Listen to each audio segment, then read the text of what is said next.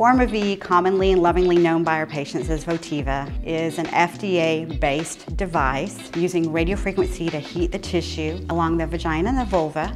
It's used for sexual dysfunction. It helps our patients with urinary incontinence and laxity issues. Completely comfortable. Patients don't experience any discomfort with it. There's no downtime with it. You can resume all activities that night.